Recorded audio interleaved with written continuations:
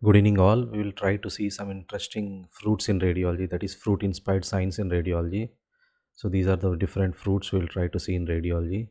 So, this is the first case where you can see uh, this is hyperintense, this is the T2 weighted image showing the prostate, and there are multiple hypointense linear striations or linear hypointense areas noted in the prostate, which mimics the typical skin of the watermelon.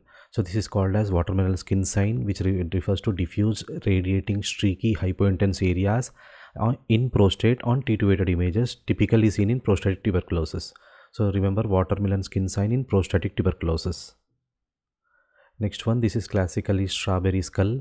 Here you can see this is classically strawberry skull is seen in case of trisomy 18 or Edwards syndrome where there is flattening of the occiput which is due to hypoplasia of the occipital bones brainstem and cerebellum and even pointing of the frontal bones which is due to hypoplasia of the frontal bones this flattening of the occiput with pointing of the frontal bones typically mimics the strawberry. So that's why it is called as strawberry skull. So remember strawberry skull in trisomy 18 or Edwards syndrome and other you can also remember strawberry gallbladder seen in gallbladder cholesterolosis. Next one typical this is apple core sign here you can see there is a is double contrast uh, barium enema typically showing a annular constricting lesion which is showing luminal narrowing and also here you can see this is the annular constricting lesion in the colon which typically mimics the apple core. So this is remember apple core sign which is nothing but napkin ring sign which is most frequently associated with constriction of the lumen of the colon by stenoting stenosing annular colorectal carcinoma. Next case. Uh, here you can see pear shaped pear shaped bladder.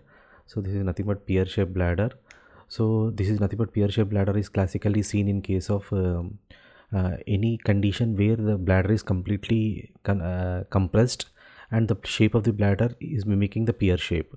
So this pear-shaped bladder is due to compression of the bladder by fluid, blood, lymphocytes or extravasated urine.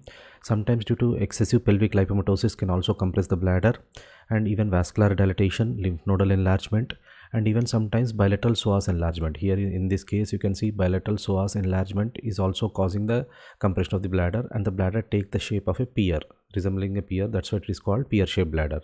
Remember other appearances pear shaped appearance which can be also seen in case of appendicular mucocele. This is a case of appendicular mucocele where you can see pear shaped appearance or drumstick appearance. Next case uh, here you can see uh, this is nothing but called as banana sign or lemon sign.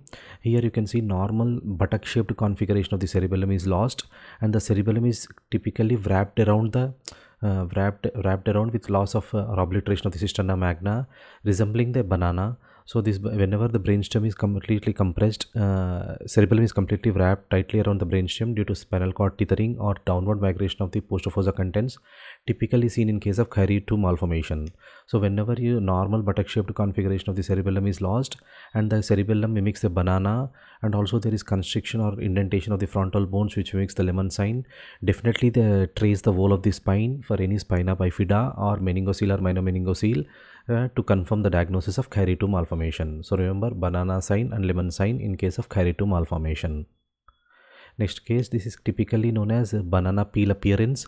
This is longitudinal section of the aorta where you can see the both the renal arteries. This both the renal arteries origin from the uh, aorta typically mimics a peeled banana. So that's why it is called as banana peel sign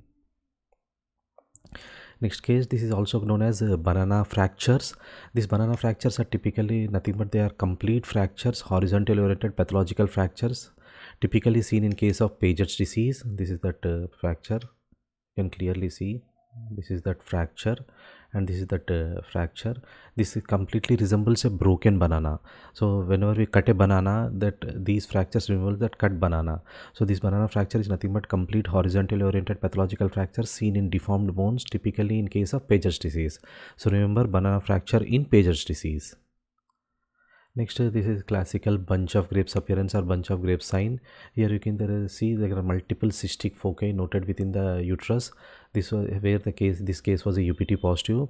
So this was a complete molar pregnancy where you can see multiple cystic foci scattered in throughout the endometrial cavity. Uh, this mimics bunch of grapes appearance or bunch of grapes sign.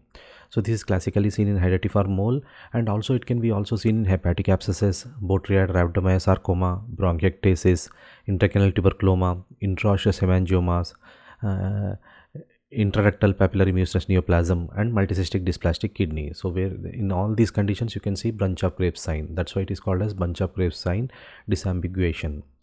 So these are all the uh, fruit signs which we have discussed today. Thank you all